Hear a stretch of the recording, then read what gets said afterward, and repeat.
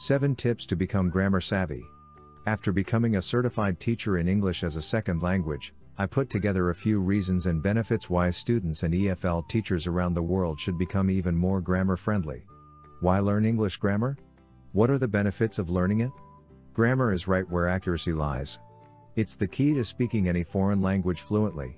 It plays a significant role in communicating, especially nowadays with the extensive use of the internet and social media. Having solid grammar knowledge makes the differences, and gives you the freedom to add real meaning to what you want to say.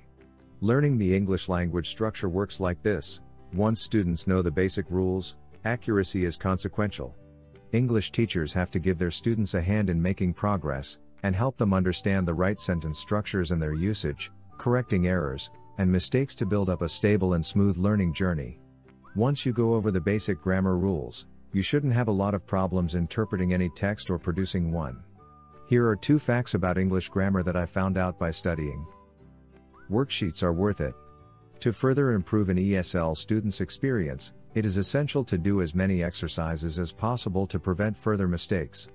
It can be accomplished through coursebooks, websites, and dictionaries.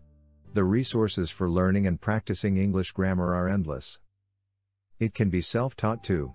Grammar also can be self taught, through the many apps that are available for smartphones, and on the countless websites and online communities, such as Quora.com. There you have free access to unlimited knowledge. You can discuss topics and clear up any doubts you might have. It is a functional tool to study grammar in depth, especially for autodidact students like me. There are a few steps to be followed to produce proper and accurate grammatical content, either spoken or written. Here below, you will find 7 great tips that might help you on your grammar journey. Number 1 Grammar can be improved through independent or guided research.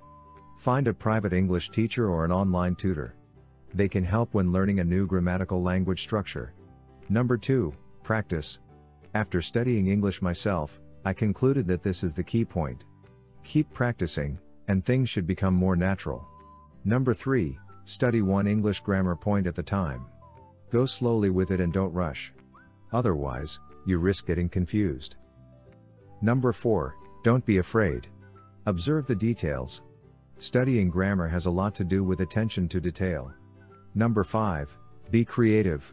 Read a lot of authentic materials, watch the news in English, and read magazines, newspapers, websites, etc. Number 6, have access to an English dictionary. Dictionaries are great when you need to clarify any grammatical doubts. They are reliable, trustworthy sources. Number 7. Have fun. Studying English grammatical structures is an exciting way to improve your analytical skills.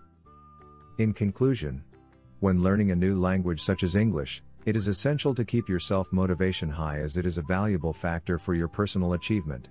Once your students understand the basic rules, their self confidence dramatically increases. Be patient with yourself and remember those big things are achieved not all at once, but at one day at a time. By studying and practicing, you will be much closer to producing accurate English content, followed by a greater fluency. Consequentially, you will find yourself prepared to present your ideas with clarity and success.